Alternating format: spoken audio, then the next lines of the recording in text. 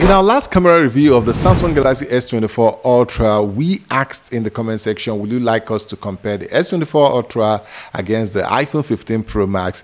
And the answer was an overwhelming yes. So yeah, we are here right now to do that. And let's see, after two OTA software updates and Samsung bringing in some improvements in their camera, color tuning, screen and all that, how does the S24 Ultra compare with the iPhone 15 Pro Max? You want to know? Let's find out together. Okay, welcome back again to Smart Depot. I'm so excited to have you back. Of course, there were a whole lot of improvement on the S24 Ultra. We already did a video about that. But right now, we're going to peg it against the iPhone 15 Pro Max and let's see whether Samsung has come up to that point where their camera pictures and video will be on par or even better than that of the iPhone. While editing this video, March 26, 2024, Samsung released the April OTA with lots and lots of camera improvements. So that means we probably have to do a part two of this with this new update. Look at the difference from a user already on Twitter.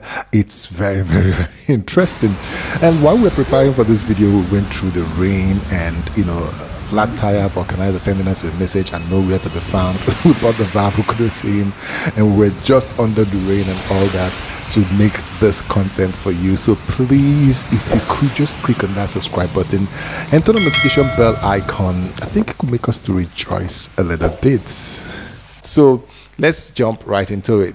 So let's start from the selfie portrait because this is where I really, really want to test out the iPhone versus the uh, Samsung. As you can see, uh, the saturation is more on the iPhone, but the you know edge detection is way better on the iPhone than on Samsung. In this place, they are a little bit similar, and I like the HDR on the Samsung. But I will let you be the judge on yourself. You know which one do you know? This is the main camera picture here.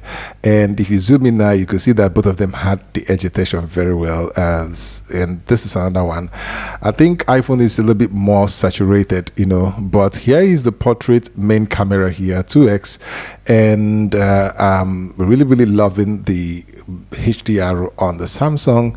Uh, iphone got a little bit of the color tone better but um, what do you think?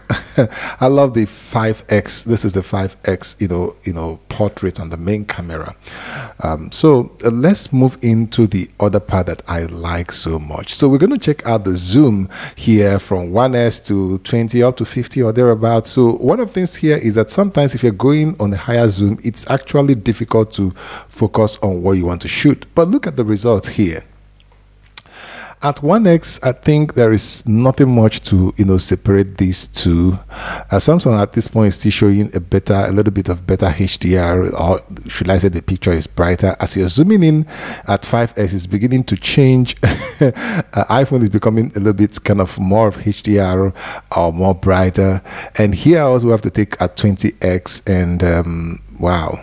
So uh, 30 years, I think iPhone is beginning to fall apart here. It's a very foul weather, and this is a very good test. So I can't really say an outright winner here, so I'll share with the both.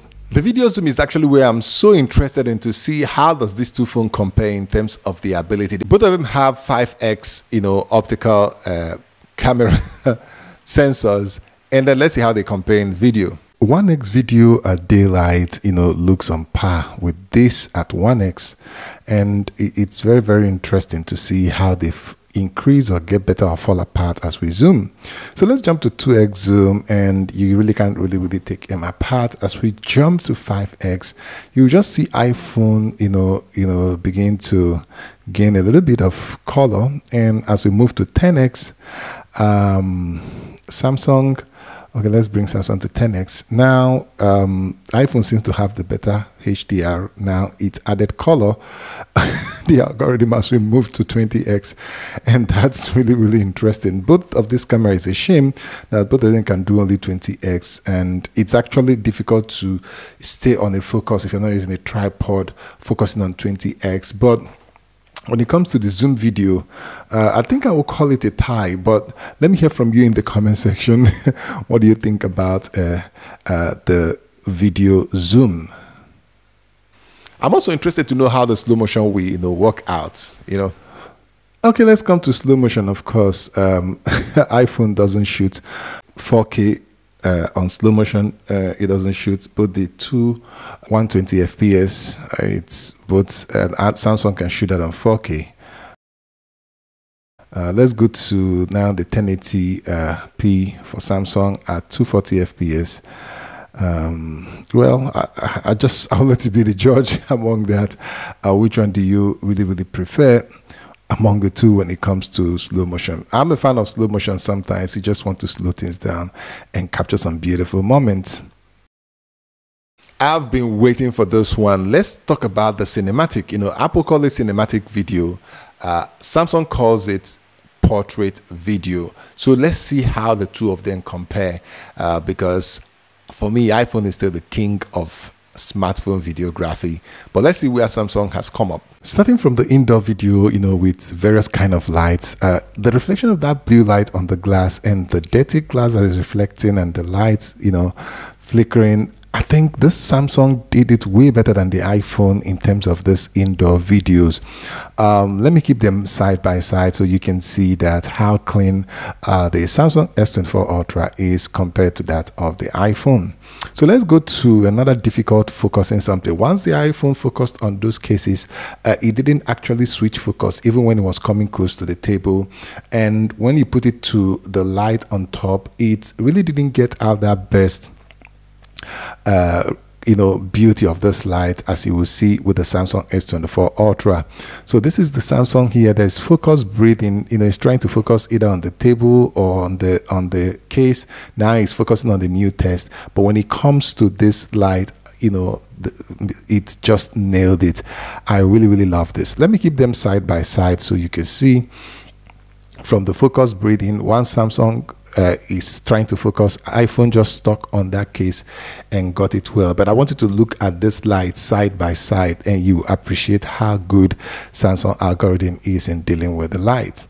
So finally, the most sweetest part for me is the cinematic video or portrait video as Samsung call it. Um, Samsung portrait video was actually quite impressive, but the problem is that if I'm going closer to the subject, it is not focusing very, very sharp like on the back hair and all that because I'm coming too close. Uh, so the focal length here is is still too big. So you can see it from this picture. As I'm coming closer to the face, the face become out of focus and soft.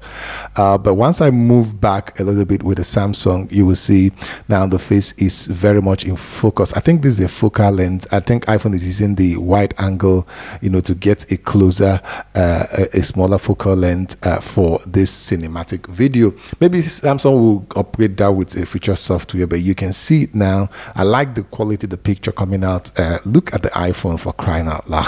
the video uh, especially the HDR, as I'm moving back, is not getting that face.